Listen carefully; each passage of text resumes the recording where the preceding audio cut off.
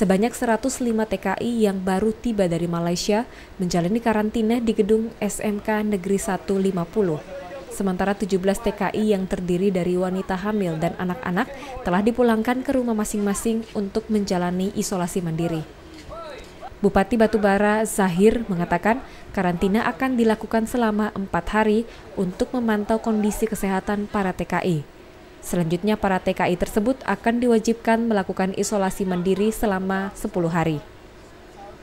Sebelumnya pemerintah Kabupaten Batubara telah memfasilitasi kepulangan para TKI asal Batubara yang terlantar di Malaysia akibat lockdown yang diperpanjang di negeri jiran tersebut.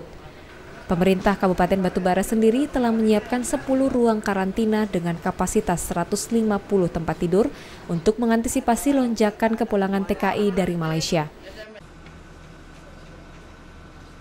Kita telah menjemput sejumlah 122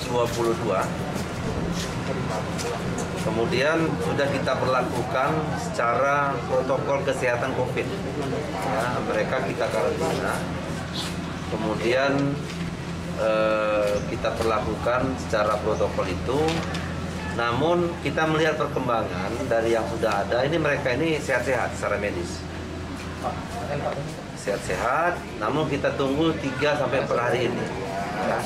tapi bagi yang ibu-ibu yang hamil ada 10 orang ini sudah kita tes pakai rapid test mereka negatif mereka sehat dilakukan penyelidikan secara epidemiologi.